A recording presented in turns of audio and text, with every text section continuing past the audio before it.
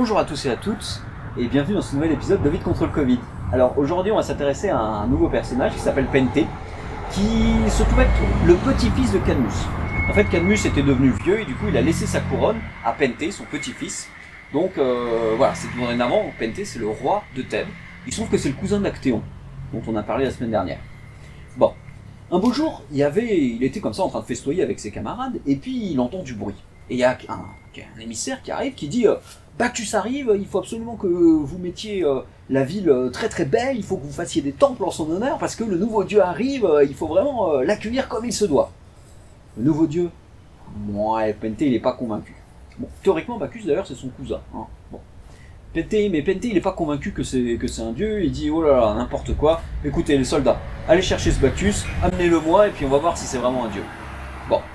Alors, les soldats euh, vont euh, chercher Bacchus, et puis au bout d'un moment, ils finissent par arriver, et là, Pente arrive et dit Alors, alors, c'est lui Bacchus Ah non, non, c'est pas lui Bacchus. Euh, Bacchus, on n'a pas réussi à l'avoir, mais on a eu lui qui arrêtait pas de le suivre partout. ça a l'air vraiment d'être un, de ses très très proches. Très bien, on va l'interroger. Comment t'appelles-tu Je m'appelle Acoetes. Et qui es-tu? Alors moi, à l'origine, je suis un, un pauvre pêcheur. J'ai pas de richesse comme vous. Je suis vraiment un pauvre pêcheur. Et il se trouve qu'un beau jour, j'étais sur un, bateau avec mes camarades. Donc c'était moi qui était, c'était qui, avait le plus haut, le plus haut grade. hein. Et puis bon, on voit arriver un jeune homme comme ça, qui à moitié ivre, mais vraiment très très très beau, qui veut euh, s'embarquer avec nous. Moi je sens le truc, je me dis, Hum, lui c'est pas un humain, lui ça doit être un dieu, je veux pas qu'il monte sur mon bateau, mon bateau est pas assez bien pour lui, euh, vraiment c'est pas une très très bonne idée, surtout que je connais mes camarades, ils vont essayer de, ils vont essayer de l'attraper et puis d'en faire euh, un peu n'importe quoi, peut-être de le vendre chez les esclaves et tout, donc non non non, moi je veux pas qu'il monte. Bon alors je retiens, je les empêche euh, de faire monter euh, Bacchus, mais euh, mes camarades, ils ont une idée derrière- la tête et ils veulent absolument le faire monter. Finalement, il y en a un qui me met un coup de poing dans la figure, donc je suis à moitié assommé et puis ils finissent par faire rentrer Bacchus. Bon, le bateau part, et là ils demandent à Bacchus où est-ce qu'il veut aller. Bacchus leur indique le- l'endroit, et figurez-vous qu'ils vont exactement à l'autre endroit. Alors c'est moi qui barre, c'est moi qui, contrôle le, bateau. Donc, notre cher camarade Bacchus décide d'aller à tribord, bah moi je, on me demande d'aller à bâbord. Ce que je ne fais absolument pas. Si le dieu me demande d'aller à tribord, moi je vais à tribord, mes camarades ils peuvent toujours me parler, moi je vais à tribord. Bon, mes camarades ils sont pas très très contents, ils disent mais qu'est-ce que tu fais? Tu fais n'importe quoi, on doit aller à bâbord, je t'ai dit à bâbord.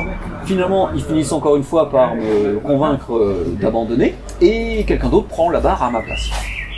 Bon, alors ils se rendent à... Là-dessus ils se rendent à bâbord, et c'est à ce moment-là que le dieu il commence à sortir de son ébriété, il dit mais, mais vous m'amenez où là? Moi il faut aller à tribord, c'est pas à bâbord qu'on va.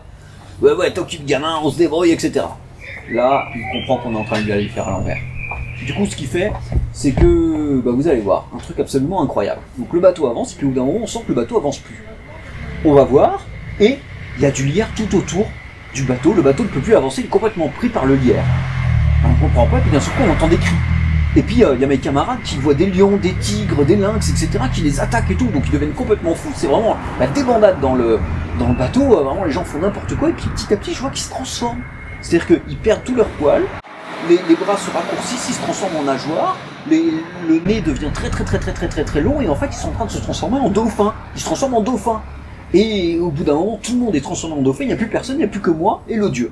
Alors moi je suis complètement apeuré, et le dieu me dit, non, t'inquiète pas, toi t'as été réglo avec moi, il n'y a pas de problème, tu vas pouvoir me suivre, tu vas être un de mes fidèles maintenant. Et et t'occupes, t'auras aucun problème avec ça, tu vas vraiment vivre super heureux mon vieux. Donc voilà comment est-ce que je suis arrivé euh, à être un des plus fervents euh, défenseurs, un des plus fervents suivants de Bacchus, qui est vraiment un dieu extraordinaire. Bon, Pente, il est pas très très content, il l'envoie, euh, il en prison. Et surtout, ce qui le dérange en fait, c'est que Bacchus, c'est un dieu de, de, de la fête et de l'alcool surtout. Et lui, euh, bon, c'est un peu un conservateur quoi. Il se dit, oh, l'alcool, euh, c'est pas super top. Bon, finalement, il, décide, il réfléchit, et puis il se dit qu'il va quand même aller voir un peu cette fête, mais en cachette. Hein, faut pas qu'il se passe à voir. Donc il y va, il s'approche de cette fête, et là il voit euh, bah, sa tante, et puis sa mère aussi, et puis une autre de ses tantes, qui sont en train de fêter comme ça Bacchus. Alors il est un peu déçu que sa mère et sa tante fêtent Bacchus, et soudain, elle le voit. Mais elle le voit, mais elle le reconnaissent pas. D'un seul coup, elles deviennent complètement folles, et elles se mettent à l'attaquer. Mais à l'attaquer, à lui courir après, à lui lancer des cailloux, etc., à l'attraper. Et elles disent Attrapez son lier, attrapez son lier, on va se le faire Donc, euh, Pente, il s'enfuit, mais euh, il dit Mais arrêtez, c'est moi, Pente, Pente Mais ils ont pas l'air de reconnaître. Et d'un ça, une de ses tantes arrive et puis elle finit par, par la voir. Elle arrache les bras, elle dit Ah, ma tante, qu'est-ce que t'es en train de faire? Souviens-toi d'Actéon Mais la tante, elle se souvient même plus d'Actéon alors que c'est sa mère pourtant. Et il y a même une autre qui l'attaque et tout, et finalement c'est sa mère qui, la, dernière, finit par le tuer. Et là, il regarde et, et d'un seul coup, sa mère s'aperçoit qu'elle vient de tuer son propre fils. Voilà comment l'histoire s'achève. Euh, oui, un petit peu, euh, une histoire un petit peu sanglante. Demain, on va avoir une histoire aussi assez terrible. Hein bon, on se retrouve demain?